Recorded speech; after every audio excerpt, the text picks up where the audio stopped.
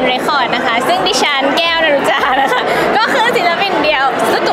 ศิลปินเดี่ยว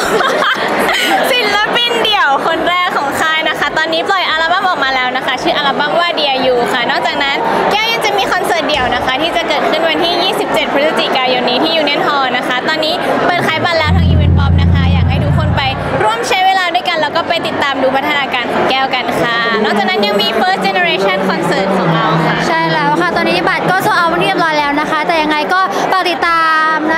สิร์ตของพวกเราด้วยนะคะ ทาง Facebook ของ Pink c a f e ค่ะ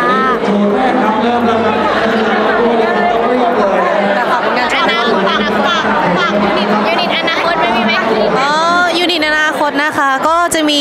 เอ่อคาร่าครับผมใช่ค่ะ แล้วก็อีล่านะคะ แล้วก็อินดี้แคมป์ค่ะ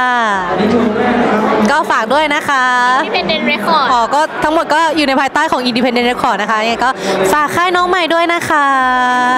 ขอบคุณค่ะ